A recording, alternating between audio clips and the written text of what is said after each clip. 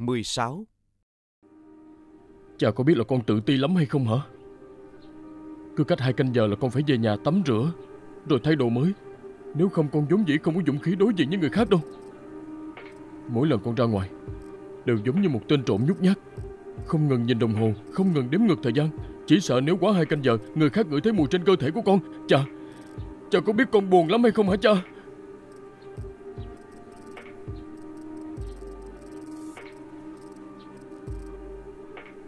Đứng lên trước đi.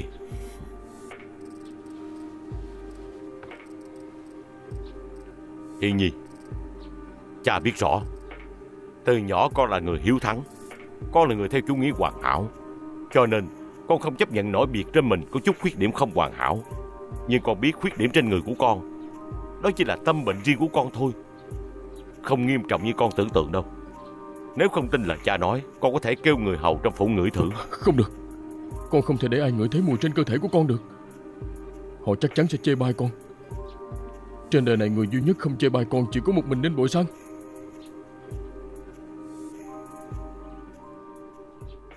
Con nhớ lần đầu tiên gặp Bội Sang Cũng tầm nửa năm trước. Lần đó mình con ra ngoài ô. Muốn tìm loại cỏ thơm mới. Mỗi lần con xem thời gian, Đều chưa tới hai canh giờ. Nhưng sau đó con phát hiện Mùi ở trên người con càng lúc càng nặng Con mới biết là Đồng hồ của con hư rồi Lúc đó con lo sắp phát điên Chính vào lúc này Ninh Bội Sang đã xuất hiện Tránh ra, tránh ra Tránh ra Tránh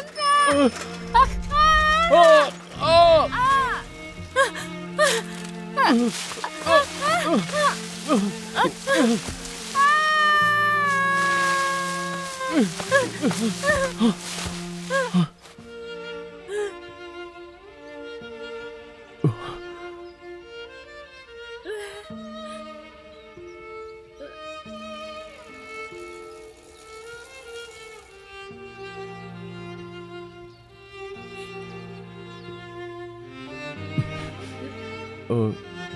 Ờ Cô nương Cô không sao chứ?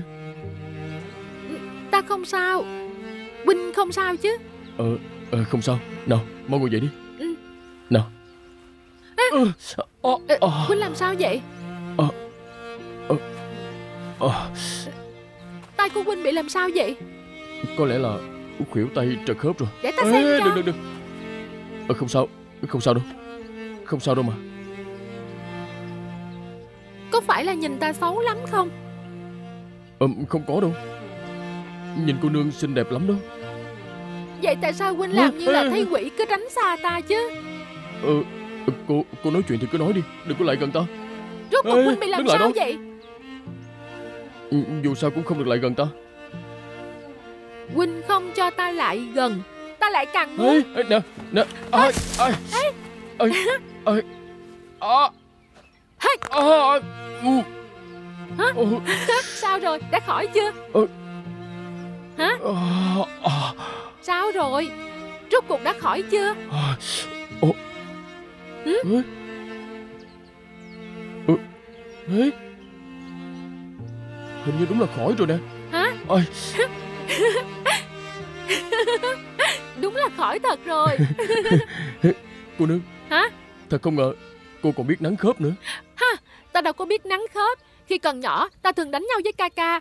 Có hai lần ca ca đánh ta bị trật khớp. Đại phu đã giúp ta nắng khớp. Hôm nay ta bèn thử giúp huynh nắng khớp. Không ngờ lại nắng được. Thì đã cô đem ta ra làm vật thí nghiệm hả? Ừ.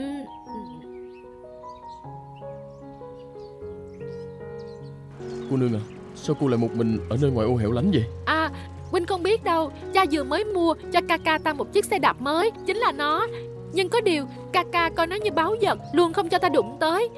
Ta bèn nhân lúc huynh ấy không chú ý trộm nó đi. À, Xem huynh ấy làm gì được ta. Ê, ê, ê, Cô nương Cô đừng lại gần ta quá. Sao vậy. Có phải người ta hôi lắm không? Ờ, không không không không. Đương nhiên người cô nương không hôi. Ngược lại cô nương thơm lắm đó. Ta e là người ta không sạch sẽ. Lây sang cô nương thôi Sao có thể như vậy chứ? Nhìn huynh trắng trẻo sạch sẽ khôi ngô tuấn tú Sao lại không sạch sẽ? Cô nương Cô thật sự không ngửi thấy mùi gì sao?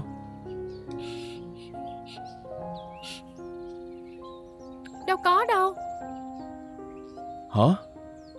Ừ Cô ngửi kỹ lại lần nữa đi. Cô không ngửi thấy mùi gì kỳ lạ thật sao? Ừ.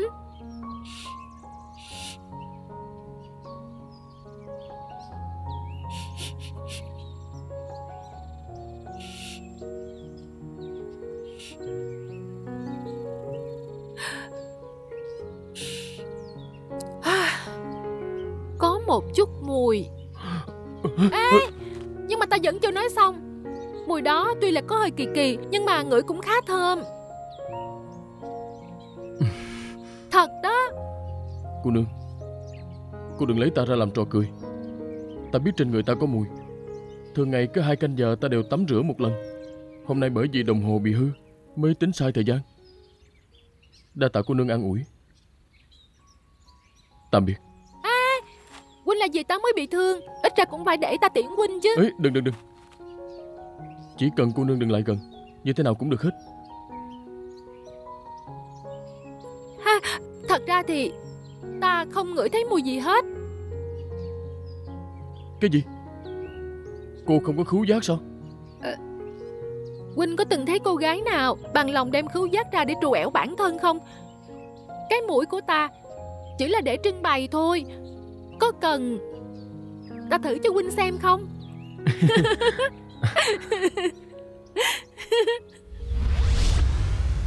Ninh Bội Sang sinh ra đã không có khứu giác. Không sai Đây là bí mật của Ninh Gia Ở trước mặt cô ấy Con không cần tự ti Cũng không cần lo lắng Cha Cha nói một người bẩm sinh đã có mùi như con Và người bẩm sinh đã không có khứu giác Có phải là duyên trời đã định sẵn rồi hay không Lão già, Huynh xem. Được. Thế Hiền, cha có thể không trách con yêu Ninh Mội Sang, nhưng cha sẽ không cho con lấy cô ấy. Nên con và cô ta mau chấm dứt tình cảm đi. Cha Con không thể không có bội sang Con phải lấy cô ấy Thế Hiền, tự tin của một nam nhân sao có thể hèn mọn tới mức phải gây dựng lên khứu giác của nữ nhân? Con trai, con hãy tin cha. Chuyện này tuyệt đối chỉ là một dạng tâm bệnh. Nó không hề nghiêm trọng như con tưởng tượng. Huống hồ giờ cha đang nghiên cứu một loại hương mới. Nếu cha nghiên cứu thành công, nhất định sẽ loại bỏ triệt để mùi trên người con, trị khỏi tâm bệnh của con.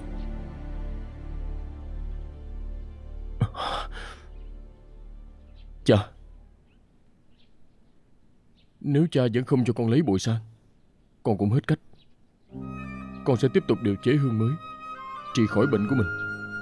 Nhưng mà trước lúc đó, Con cầu xin cha đừng ép con lấy lạc nhang nữa. Cô ấy khứu giác quá nhạy bén. Ở bên cạnh cô ấy, áp lực trong lòng con càng lớn hơn. Mong cha hãy lượng thứ cho con Lão già, Huynh đồng ý với Thế Hiên đi mà.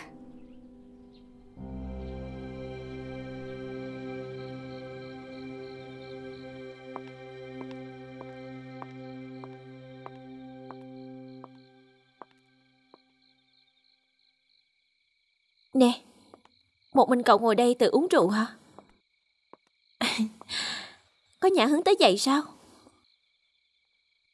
Ta đâu có uống rượu, chỉ là nhìn rượu giải sầu thôi.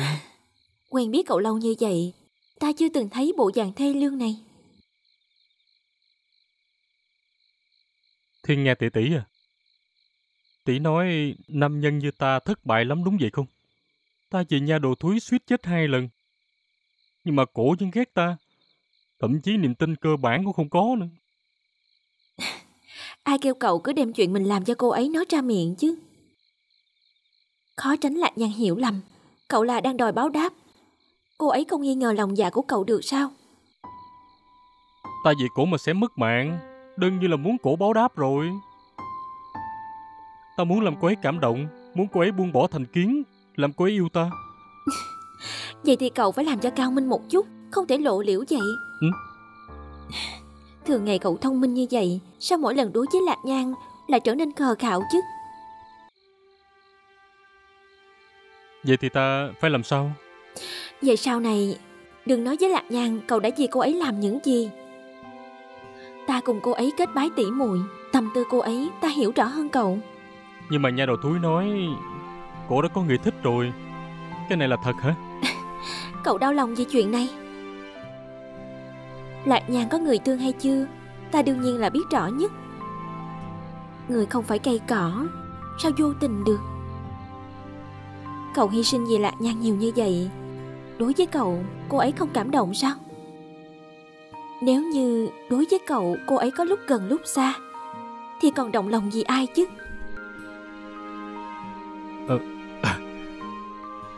Thật vậy hả Sao lại trở nên không tự tin vậy?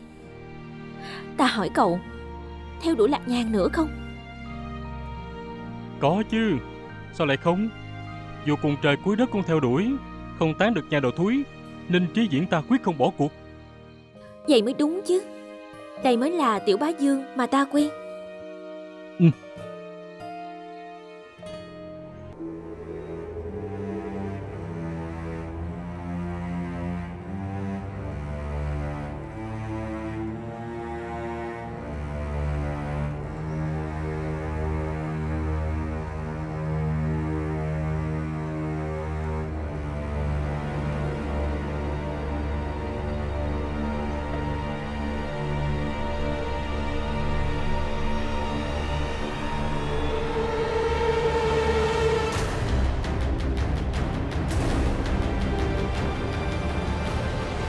Tâm trạng của các qua nữ vẫn ổn chứ? Ổn. Nếu như có người làm loạn Vậy thì mùi hương lấy được trên người họ sẽ thay đổi ngay. Những mùi hương đó sẽ không dùng được. Lão gia, đều nhờ hương an thần do ngài điều chế, hiệu quả vô cùng. Ngài cứ yên tâm đi. Ừm. Gần đây sở cảnh sát điều tra rất nghiêm. Ta thấy tạm thời không nên bắt cóc người nữa. Chỗ này của ta Phải phái thêm người canh chừng nghiêm ngặt. Một khi bị phát hiện Hậu quả rất khó lường đó Dạ, lão gia. Còn nữa Chuyện ngăn văn gia rước dâu Ta nghĩ nhất định có người đứng sau đối phó ninh gia và văn gia rồi. Có lẽ là người xưa trở lại rồi. Chuyện ta kêu ông điều tra tới đâu rồi? Lão gia, tôi đã lục xét khắp tất cả khách điếm ở Mai Dương lĩnh, không phát hiện hành tung của An Thu Thành. Bây giờ tôi đang phái người đến các hộ dân lớn, tìm xem có khách nào thuê mới không. Lão già, thứ tôi mạo muội. Tôi nghĩ có lẽ chưa chắc đã là An Thu Thành. Ông ta đã mất tích nhiều năm, biết đâu chừng đã chết từ lâu rồi. Không phải Trực giác nói cho ta biết An Thu Thanh vẫn chưa chết đâu mà đã về lại ma dương lĩnh. Hắn nhất định đang nghĩ đủ cách để trả thù ta. Ông tuyệt đối không được lơ là chuyện này. Nhất định phải nghĩ ra cách Tìm được An Thu Thanh Dạ, lão gia. Ngồi Ngồi xuống cho ta. Một đại tiểu thư chưa xuất giá đi phá hôn lễ của người khác Còn công khai cướp nam nhân với tân nương Bùi nói con dâu như mũi Văn gia còn dám rước về không Hôm đó muội không có đầu óc sao mà manh động tới như vậy Ta cũng không biết hôm đó bị làm sao nữa. Không ngờ lại manh động tới như vậy. Bản thân cũng không thể khống chế nổi Ê, mình. Trời ơi ta không ngờ được lá gan của muội còn to hơn lá gan của ta nữa đó Bộ bị trúng độc rồi hay gì Nhưng mà nếu như không nhờ hôm đó, muội cũng không biết là Hiên ca ca lại yêu muội đến như vậy. Trời ơi được rồi được rồi đừng có cảm động nữa Có một chuyện ta vẫn chưa hiểu rõ Thư nặc danh gửi cho văn phủ rút cuộc lại viết Không phải là tên thư sinh mặt trắng đó tự viết hay sao Không thể nào. Hiên ca ca cũng không biết huynh sẽ cướp kiệu ba của Lạc Nhan, không phải huynh ấy. Vậy thì ai ta Kế hoạch này chỉ có mình An Vật Trần biết không phải là giật Trần lão đệ chứ. Trời đất ơi bậy quá. Sao ta có thể nghi ngờ huynh đệ của mình? Giật Trần lão đệ sao có thể hại ta? Nhất định trong số người hầu Có gian tế rồi. Ê, mặc kệ đó là ai, bây giờ không lo được nhiều như vậy đâu. Ca, Giang gia chắc chắn sẽ không bỏ qua dễ dàng như vậy. Bọn họ nhất định sẽ rước Lạc Nhan về lần nữa. Trời ơi Đến lúc đó ta biết phải làm sao đây? Yên tâm đi mũi mũi khờ của ta. Ừ. Không qua lần này Ta đã học được bài học. Ta tuyệt đối không để Lạc Nhan gả cho bất cứ ai. Nhà đầu thúi cả đời này Đã định sẵn là người của Ninh Trí Diễn ta rồi. Ừ. Hiên ca ca cả đời này Đã định sẵn là của Ninh Bội Sang. Hmm. Cái này ờ, là cô nương à? Cô suy nghĩ thế nào rồi? Tôi đã quạt hơn nửa ngày rồi Cái tay cũng tê hết trơn rồi nè. Đem cái ghế đó qua đây. Không sao, tôi không cần ngồi Tôi đứng được rồi. Không có chuyện của Quynh Kêu lấy thì lấy đi. Ờ à. Ấy Ê. Ai kêu Quynh ngồi chứ?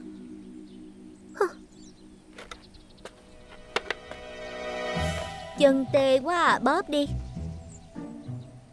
Ờ. Ai Bây giờ hết tê rồi. Ý nhà đầu thúi này Nắm bắt cơ hội lên mặt huynh quang với ta chứ gì? Để ta lừa được cô về Ninh Phủ Coi ta xử cô nè.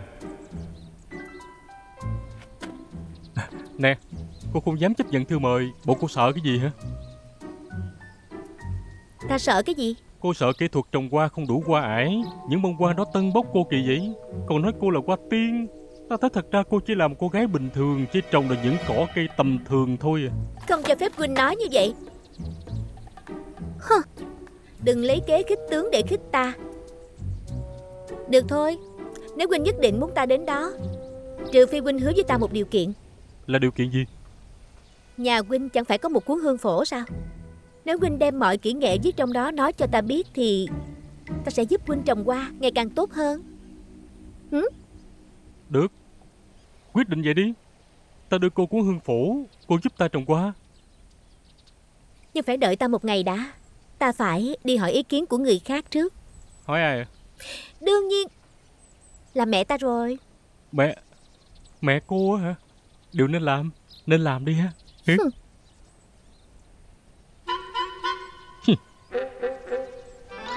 An đại ca Chuyện muội vào làm ở Ninh Phủ muội muốn nghe ý kiến của huynh Hương phổ của Ninh gia Là bảo vật trong giới luyện hương. Nếu Ninh Trí Diễn thật sự đưa cho muội Đối với kỹ thuật điều chế hương Chắc chắn sẽ giúp muội rất nhiều.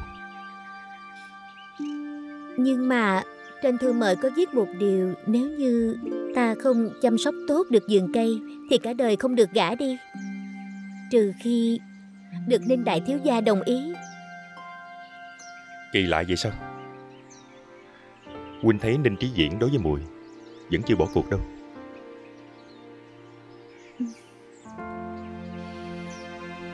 Bởi vì huynh ấy vẫn chưa biết. Trong lòng muội đã có huynh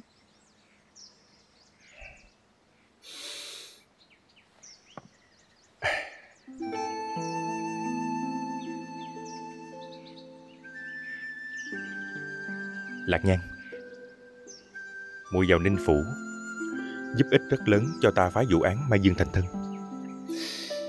Với khứu giác của muội Nhất định có thể ngửi ra. Hai tên đã bắt cóc Xuân Miêu Huynh đồng ý cho muội vào Ninh Phủ hả? Với năng lực của muội Ninh Trí Diễn không làm khó được muội Nếu thật sự xảy ra chuyện gì Ta sẽ âm thầm bảo vệ cho muội Đợi tìm được hai tên đó Phá vụ án Mai Dương thành thân. Ta sẽ lập tức xin mẹ muội cầu thân. Tới lúc đó Ninh Trí Diễn Sẽ không đến cướp kiệu hoa nữa đâu. Ừ. Vậy muội nghe lời huynh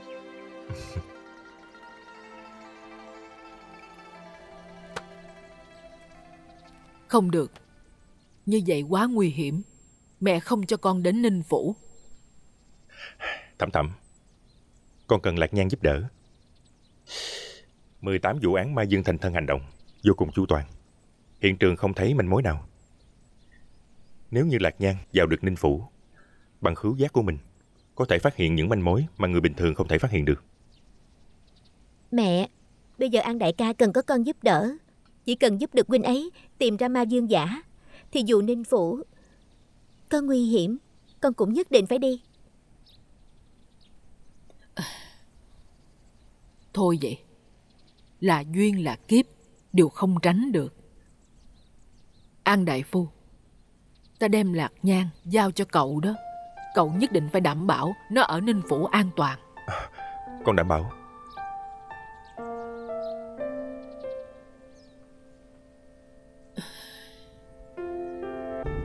Ăn cơm đi.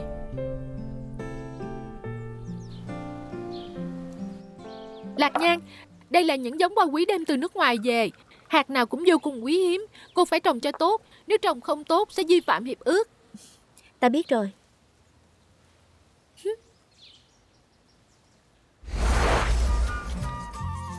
Ca, muội rang giúp huynh nha. Ê, đừng có đụng vào. Ca, Ừ? huynh nói hạt giống hoa này rang chín. Có ăn được không? Muội muốn nếm thử.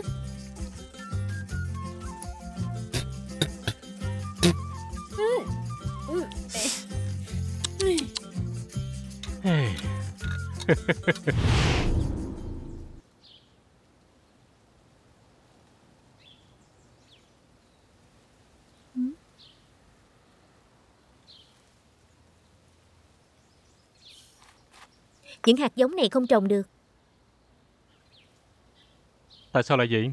Cô chịu thua nhanh vậy sao? Hạt giống bị rang chín Làm sao mà nảy mầm cho được Ừ?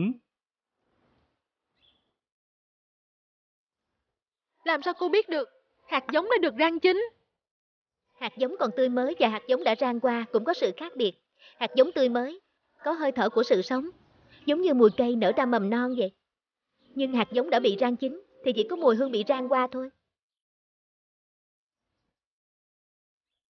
Cô nói bậy. Chắc chắn cô sợ chồng không được nên bịa ra một cái cớ. Hạt giống làm gì có mùi. Nào, để ta ngửi thử. Ê đừng mà đừng mà. Đi cẩn thận bị dị ứng đó nghe. Hạt giống còn tươi mới và hạt giống bị rang qua thật ra có sự khác biệt rất lớn, giống như là dưa sống và dưa chín vậy. Rất dễ dàng phân biệt ra được. Nếu như mọi người không tin lời ta nói thì có thể cùng nhau trồng thử.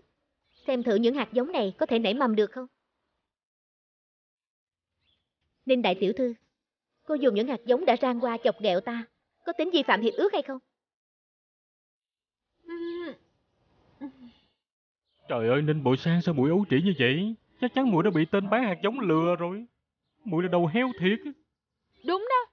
Cũng không biết là kẻ nào vô lương tâm đã lừa ta. Đúng vậy.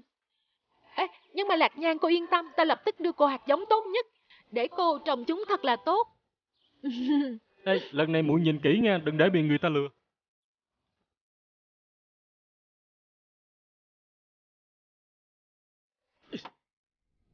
Không ngờ lần này lại thất bại. Tụi tại muội hết. Ngốc quá trời.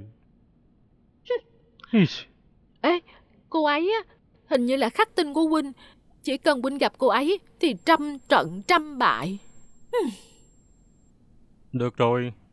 Đừng có ngồi nói nhảm. Để ta nghĩ thử coi.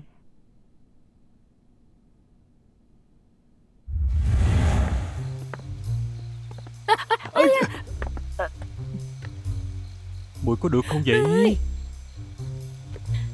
Ca, Huynh nói xem giữa đêm hôm chúng ta có phải là hơi quá đáng không?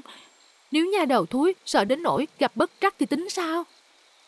Không có đâu. Nhà đầu thúi không sợ hãi vậy đâu. Lanh lợi tí xíu đi. Vết thương của ngươi không nghiêm trọng. Từ hôm nay trở đi, sẽ do ta chăm sóc cho ngươi ha. Ngươi đó sẽ mau chóng khỏe lại thôi. Trả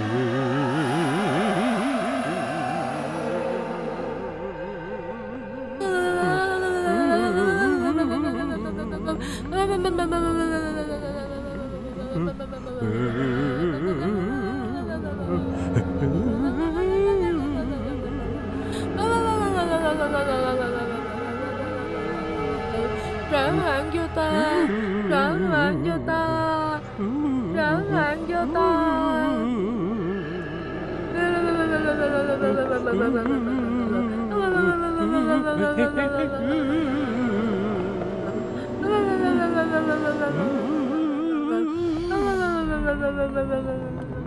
Trả mạng cho ta, nợ mạng đi. Nợ mạng đi Trả mạng cho ta Nợ mạng đi Nợ mạng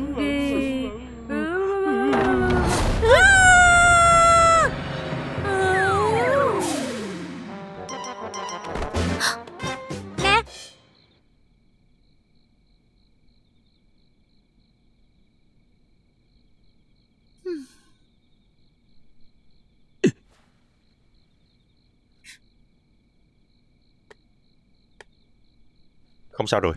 Bùi Sơn. Mọi người yên tâm đi. Bùi Sơn Bùi Sơn. Chuyện này là sao vậy? Bùi Sơn không sao chứ? Cô ấy chỉ quá kinh hãi. Tôi đã cho cô ấy uống thuốc rồi. Có lẽ không sao đâu. Ồ Không sao rồi. À. Cha. Ừ, trời, Con. Bùi Sơn.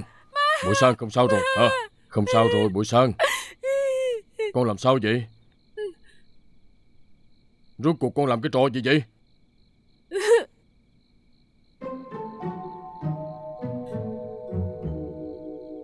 Ừm, tôi xin lỗi lão gia Xin lỗi đại tiểu thư. Lúc nãy cô nhìn thấy không phải là ma đâu Là ta giả mạo đó. Bùi Sơn Chuyện này rốt cuộc là sao đây? À Là Ninh Trí Dĩ Huynh ấy kêu con nửa đêm Cùng giả ma dọa lạc nhang Nhưng mà con không ngờ Nè Ninh Bộ Sáng Sao mùi bắn đứng đại ca vậy? Con đúng là làm can mà. Rõ ràng biết sức khỏe muội muội con không tốt Không thể bị kinh hãi. Cha Giống vậy tụi con Muốn dọa da đầu này cho vui thôi. Ai biết Ninh Bụi Sang ngốc như vậy Tự mình làm mình sợ. Con và Bụi Sơn vốn dĩ muốn dọa Lạc Nhan sao? Vậy thì tại sao Bụi Sơn lại làm mình sợ đến ngất xỉu vậy? Tôi xin lỗi lão gia Lúc nãy tôi đang ở trong phòng chăm sóc chậu hoa. Sau đó tôi nghe thấy ở trước cửa Có tiếng ma kêu. Tôi ngửi được là mùi của đại thiếu gia Với mùi của đại tiểu thư Tôi liền biết ngay nhất định họ dở trò. Cho nên lúc đó tôi liền nghĩ chuyện dọa họ đuổi họ về. Ai biết được tôi vừa dọa Là làm đại tiểu thư ngất xỉu.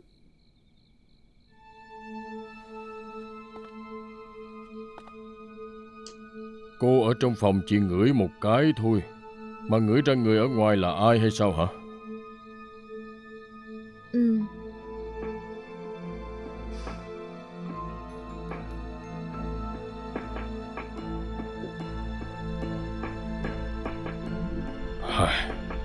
Được rồi, được rồi, được rồi. Nếu Bụi Sang đã không sao rồi Thì mọi người ra ngoài hết đi. Để Bụi Sang nghỉ ngơi. Bụi Sang nghỉ ngơi đi con.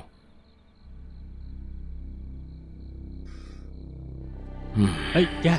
Ê, Cha Cha thấy con đáng sợ không cha? Hả?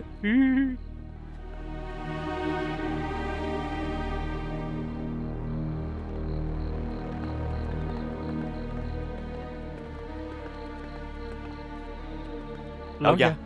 Ừ, Mời lão gia. Ừ. Hai người các ngươi Nghe kỹ đây. Canh chừng kỹ lưỡng ngoài cửa Ta và lão gia trong bàn công chuyện Không được cho ai vào. Cha đó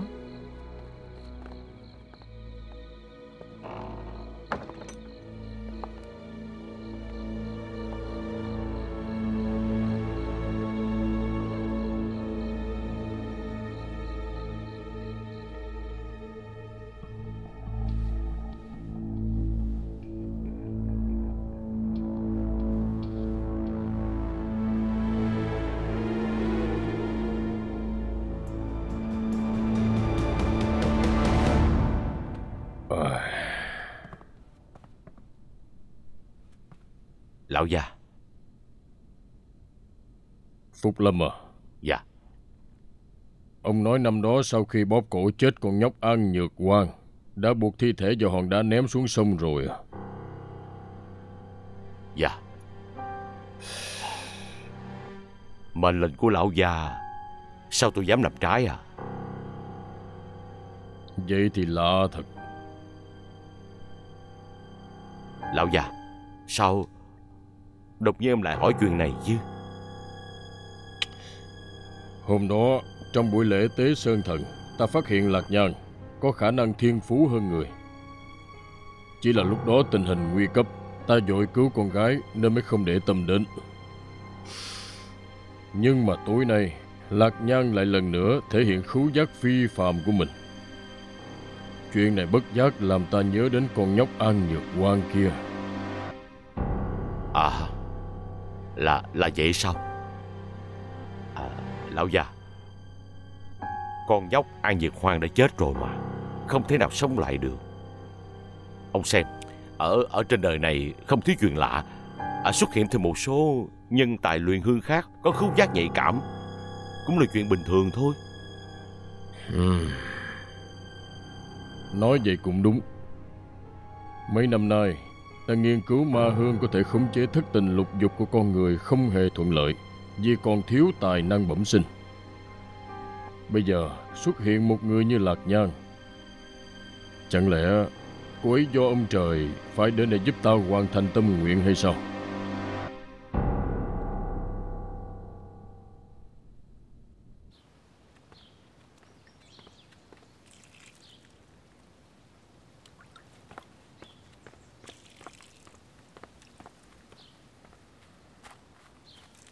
Lạc Nha cô nương. Ờ. Đại quản gia À, cô nương đến phủ cũng đã được một thời gian rồi. Cô sống ở đây đã quen chưa?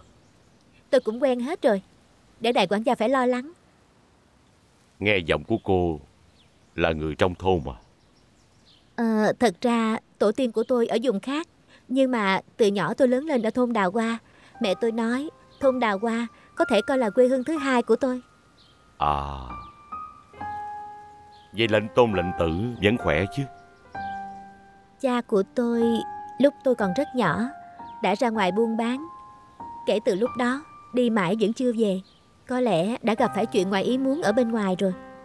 Cho nên từ nhỏ một mình mẹ tôi tự tay nuôi tôi khôn lớn. Mẹ tôi ngoài một chút bệnh giặt đó ra thì mọi chuyện đều ổn. Cảm ơn quản gia đã quan tâm. À, không có gì. Ờ, ở trong phủ nếu có chuyện gì không tiện tìm lão gia thì cô cứ đến tìm ta. Ừ, À được rồi, cô nương làm tiếp đi.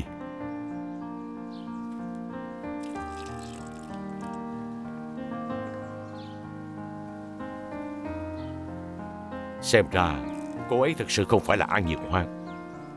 Nhưng mà tại sao cô ấy cũng có khứu giác nhạy bén như vậy?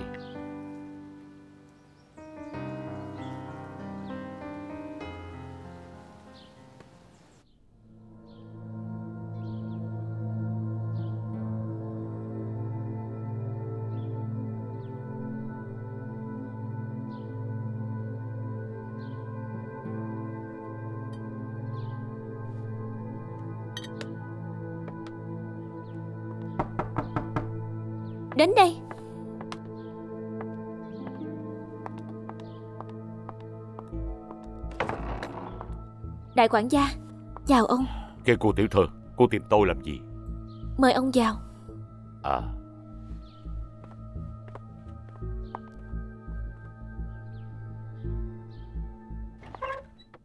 Quản gia Mời ông ngồi được.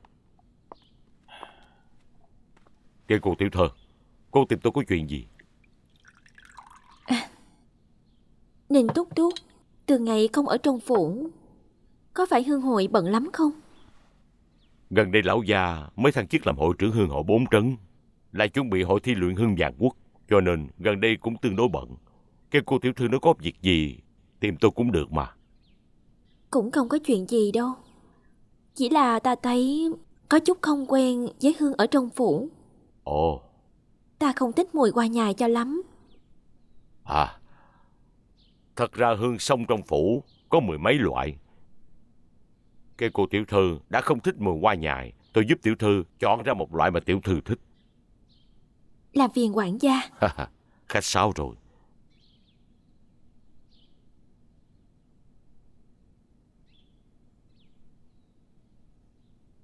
Hương kia cô tiểu thư xong, hình như không phải là hoa nhài. Đây là hương sông ta đem từ Nhật Bản Quản gia ngửi thử xem Có gì khác với hương ở trong phủ không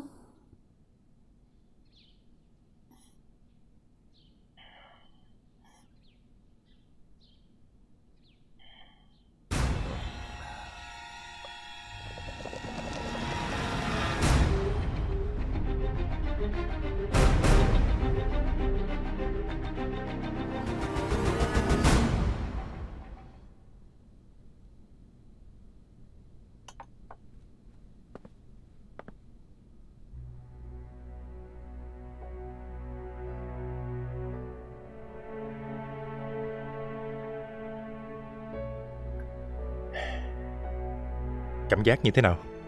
Tê. Ừ, Hơi tê tê. Đau quá trời. Tê thì đúng rồi. Chứng minh là chứng tê liệt thần kinh này của Huynh có thể trị khỏi. Có thật không vậy? Đương nhiên là thật rồi. Lẽ nào Huynh còn không tin y thuật của ta sao? Ta đã từng đọc qua sách.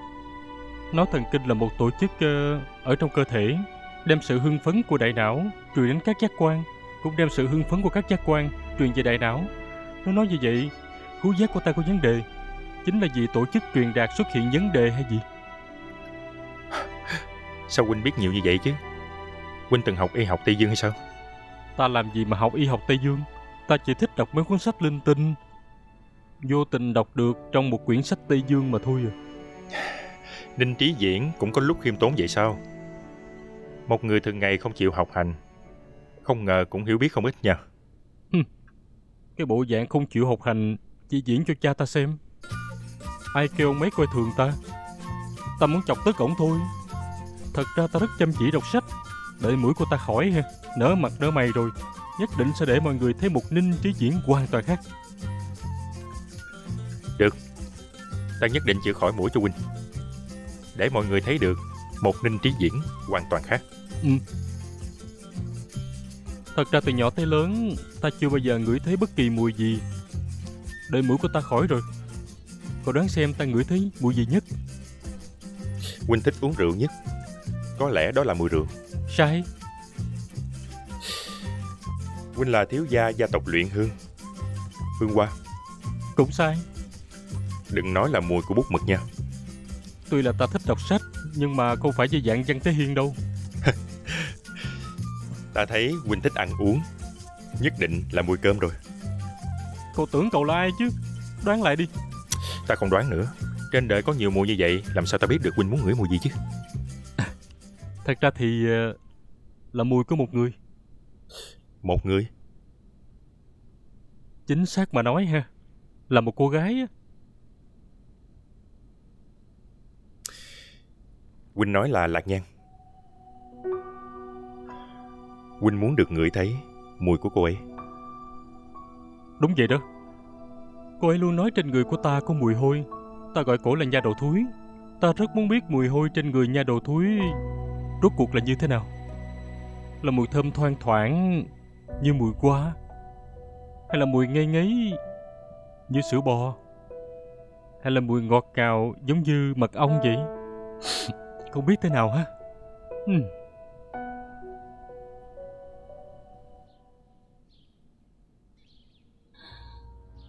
Quản gia. Đại sư luyện hương hư sĩ kỳ Có để lại cuốn hương phổ.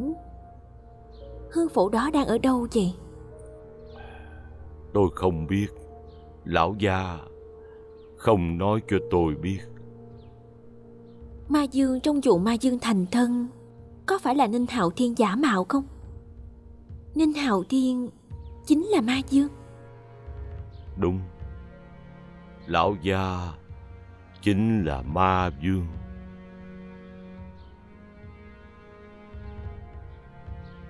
Ninh Hạo Thiên Bắt cóc những qua nữ đó Là để luyện hương sao? À đúng. Lão gia nói Trong hương phổ có ghi chép Cách dùng mùi trên người thiếu nữ để luyện hương Vậy 18 thiếu nữ trồng qua Đều do Ninh Hạo Thiên bắt cóc Phải không? Không. Lão gia chỉ bắt cóc 12 hoa nữ Còn 6 hoa nữ mất tích còn lại Không liên quan tới lão gia. Vậy sáu thiếu nữ trồng qua Là do ai bắt cóc?